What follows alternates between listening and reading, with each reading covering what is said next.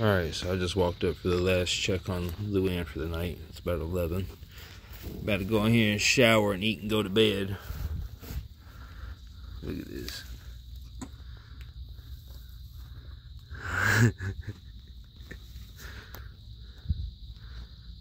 I think we're good.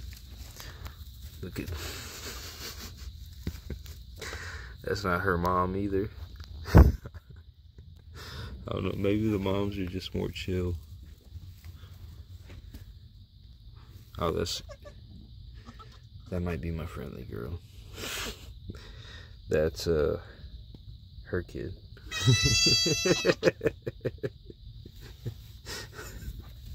I don't know. This is just a nursery.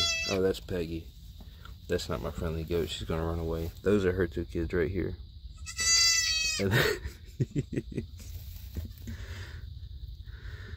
That's her other kid. Yeah, just like the nursery. Right now we got uh, this barn with all the kids and moms. And there's, there's some more kids. Their mom is in the corner. It's getting hard to keep up with them. We're up to 13 or 15. Um, we got, got all the moms and babies here. I got two soon to be moms in one barn, and then everybody else in the back.